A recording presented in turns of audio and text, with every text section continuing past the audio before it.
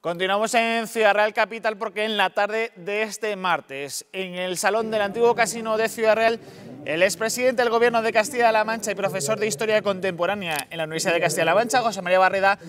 reabrió el ciclo de conferencias Vía Civitas, organizado por el Ayuntamiento de Ciudad Real y el Instituto de Estudios Manchegos, que cada martes se celebra, como digo, en el antiguo casino de Ciudad Real y que se tuvo que paralizar debido a las restricciones sanitarias que se aplicaron en la capital provincial antes de las fechas navideñas. Barreda, ante un salón del antiguo pleno, el antiguo casino, con medio centenar de personas, hizo un recorrido por la Ciudad Real del siglo XIX.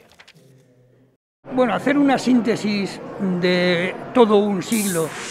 acerca de lo que ha acontecido en nuestra ciudad es sin duda complicado. Mi conferencia voy a utilizar la técnica impresionista de los rasgos eh, superficiales eh, porque es, es, muy complicado hacer otra cosa, porque además se trata de un siglo fundamental en la historia contemporánea. Hay que recordar que al principio de este periodo se produce la revolución burguesa, los súbditos pasan a ser ciudadanos, para que eso ocurriera se necesitaba que hubiera constitución y libertades civiles y ese es el proceso que se produce a lo largo de todo el siglo XIX, que es un siglo además con muchas tensiones. En realidad, el siglo XIX en España es una sucesión casi ininterrumpida de guerras civiles, con paréntesis de posguerra, que no son exactamente la paz, sino otro tipo de, Estado, ¿no?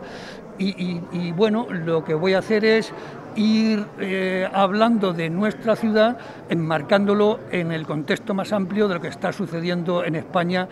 a lo largo de un siglo muy convulso. Recordemos, por ejemplo, que durante este periodo hay muchas constituciones, no solamente la de 1812, sino cinco más, lo que prueba eh, el ambiente que había de cambio y de eh, gobiernos que eh, se sucedían unos a otros y además eh, jalonados de golpes militares. Y todo esto pues tiene su reflejo, como es lógico, en Ciudad Real y es en lo que, a lo que me voy a dedicar durante la conferencia.